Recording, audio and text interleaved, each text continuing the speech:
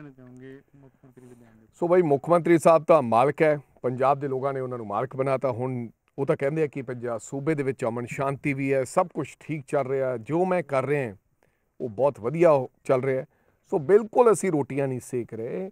ਕੱਲ ਗਵਰਨਰ ਆਇਆ ਸੀਗਾ, ਵਿਧਾਨ ਸਭਾ ਦੇ ਵਿੱਚ। ਅਸੀਂ ਗਵਰਨਰ ਨੂੰ ਕਿਹਾ ਕਿ ਤੂੰ ਮਾਈ ਗਵਰਨਮੈਂਟ ਪੜ੍ਹ ਰਿਹਾ ਯਾਨੀ ਕਿ ਕਹਿ ਰਿਹਾ ਮੇਰੀ ਸਰਕਾਰ।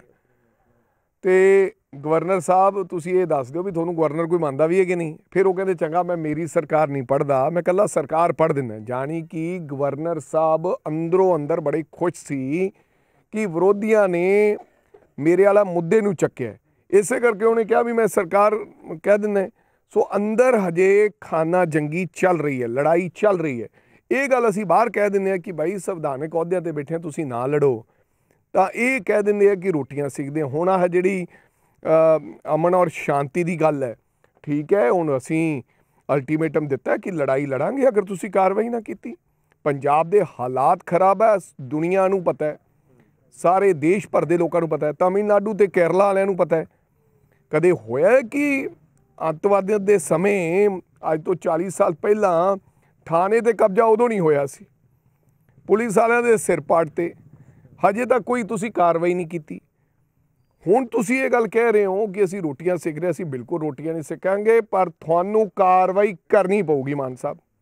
ਜੇ ਕਾਰਵਾਈ ਤੁਸੀਂ ਨਾ ਕਰੋਗੇ ਅਸੀਂ ਹਰ ਲੜਾਈ ਲੜਾਂਗੇ। ਇੱਕ ਟਾਂਡਾ ਦੇ ਵਿੱਚ ਕਿਵੇਂ ਦੇਖਦੇ ਹੋ ਜਿਹੜਾ ਪਰਸ ਖੂਨ ਦੇ ਚੱਲਦੇ ਦੋ ਬੱਚਿਆਂ ਦੀ ਡੈਥ ਹੋਈ ਆ ਅਮਨ ਕਾਨੂੰਨ ਤੁਸੀਂ ਪਹਿਲਾਂ ਹੀ ਗੱਲ ਕਰ ਰਹੇ ਹੋ ਮਾਹੌਲ ਉਹ ਫੇਰ ਕਹਿਣਗੇ ਮੈਨੂੰ ਪਤਾ ਹੈ, ਮੈਂ ਅੱਜ ਆ ਰਿਹਾ ਸੀ ਚੰਡੀਗੜ੍ਹ ਤੋਂ ਮੁਕਤਸਰ ਗਿੱਦੜਬਾਹਾ ਤੇ ਰਾਸਤੇ ਵਿੱਚ ਪਤਾ ਲੱਗਿਆ ਕਿ ਸਕੂਟੀ ਵਾਲੀ ਵਿਚਾਰੀ ਤੋਂ ਪਰਸ ਖੋਲਿਆ ਕੋਈ ਸਾਡੀ ਭੈਣ ਤੋਂ ਤੇ ਦੋ ਬੱਚਿਆਂ ਦੀ ਮੌਤ ਹੋ ਗਈ। ਉਹ ਉਹ ਹਸਪਤਾਲ ਦੇ ਵਿੱਚ ਹੈ। ਇਹ ਤਾਂ ਅਮਨ ਔਰ ਸ਼ਾਂਤੀ ਹੈ। ਅਸੀਂ ਤਾਂ ਇਹ ਕਹਿੰਦੇ ਕਿ ਦਿਨ ਦਿਹਾੜੇ ਲੁੱਟਾਂ ਖੋਹਾਂ ਕਤਲੇਆਮ ਹੋ ਰਿਹਾ ਹੈ। ਤੁਸੀਂ ਕਹਿ ਰਹੇ ਹੋ ਅਸੀਂ ਰੋਟੀਆਂ ਸਿੱਖ ਰਹੇ ਹਾਂ।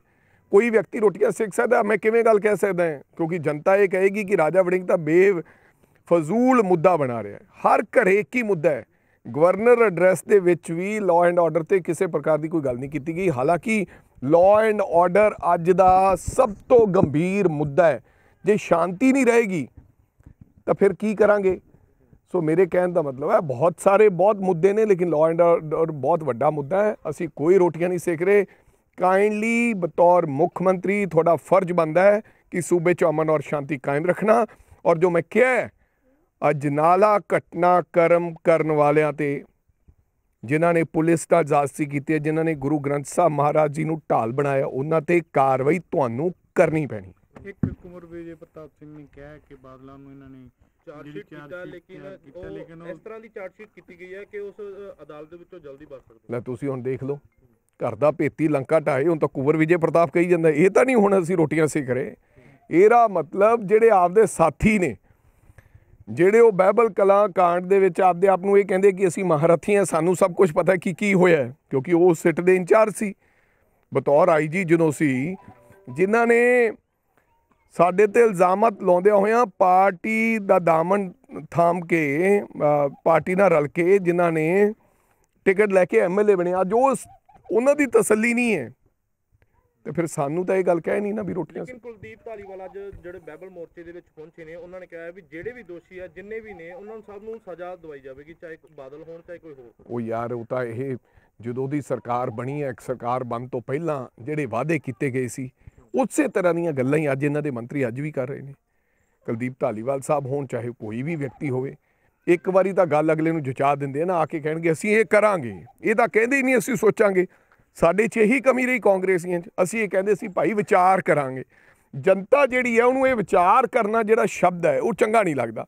ਵੀ ਅਸੀਂ ਵਿਚਾਰ ਕਰਦੇ ਹਾਂ, ਇਹਦੇ ਤੇ ਗੌਰ ਫਰਮਾਵਾਂਗੇ। ਜੇ ਹੋ ਸਕਦਾ ਹੋਇਆ ਤਾਂ ਕਰਾਂਗੇ। ਜਨਤਾ ਕਹਿੰਦੀ, ਯਾਰ ਕੀ ਕਰੀ ਜਾਂਦੇ? ਇਹ ਹਰ ਕੰਮ ਨੂੰ ਕਹਿ ਦਿੰਦੇ ਆ ਕਿ ਹੋ ਗਿਆ, ਕਰਾਂਗੇ।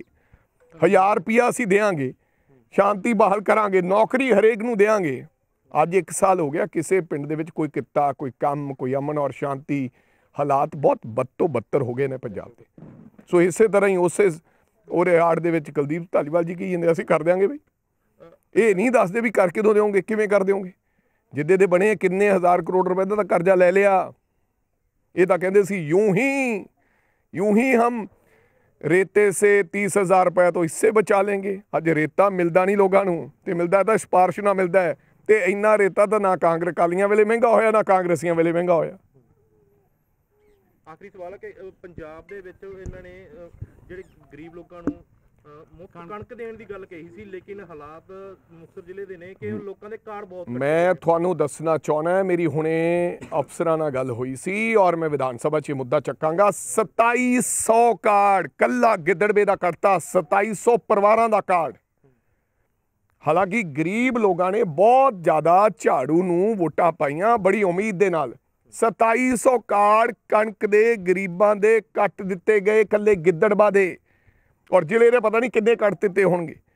ਔਰ ਪੰਜਾਬ ਦੇ ਪਤਾ ਨਹੀਂ ਕਿੰਨੇ ਕਾਰਡ ਕੱਟ ਦਿੱਤੇ ਜੇ ਤੁਸੀਂ ਦੇ ਨਹੀਂ ਸਕਦੇ, ਤਾਂ ਕਮ ਸੇ ਕਮ ਗਰੀਬਾਂ ਤੋਂ ਖੋ ਨਾ। ਇਹਨਾਂ ਗਰੀਬਾਂ ਨੇ ਬੜੀ ਆਸ ਦੇ ਨਾਲ ਤੁਹਾਨੂੰ ਬੋਕਰ ਫੜ ਫੜ ਕੇ ਹੱਥ 'ਚ ਇਹਨਾਂ ਨੌਜਵਾਨਾਂ ਨੇ ਵੋਟਾਂ ਪਾਈਆਂ। ਕਮ ਸੇ ਕਮ ਉਹਨਾਂ ਦੇ ਜੇ ਨੌਕਰੀ ਨਹੀਂ ਦੇ ਸਕਦੇ, ਉਹਨਾਂ ਦੇ ਘਰੇ ਜਿਹੜਾ ਆਟਾ ਪੱਕ ਰਿਹਾ ਜਿਹਨੇ ਨਾਲ ਢਿੱਡ ਭਰ ਰਿਹਾ ਇਹ ਖੋਲੋਗੇ ਤਾਂ ਬੜਾ ਹਾਲਾਤ ਹੋਰ ਗੰਭੀਰ ਹੋ ਜਾਣਗੇ। ਇਹ ਕੰਮ ਨਾ ਕਰੋ। ਇਹ ਹੈ ਸਰਕਾਰੀ ਬਦਲਾਅ ਆਇਆ, ਇਸ ਕਰਕੇ ਹੋਇਆ। ਇੱਕ ਕਾਰਡ ਨਹੀਂ ਕੱਟਣ ਦਿੱਤਾ। ਕੱਟੇ ਨਹੀਂ ਦਿੱਤੇ, ਉਲਟਾ ਪੰਜਾਬ 'ਚੋਂ ਸਭ ਤੋਂ ਵੱਧ ਕਾਰਡ ਬਣਾਏ। ਅੱਜ 46 ਕੇ 47 ਹਜ਼ਾਰ ਕਾਰਡ ਗਿੱਦੜਬਾਦ ਹੈ। ਇਹ ਕੱਟਣ ਲੱਗੇ ਵੇ ਮਾਂ ਦੇ ਸ਼ੇਰ। ਇਹ ਬਦਲਾਅ ਹੈ ਬਈ। ਬਦਲਾਅ ਆਇਆ।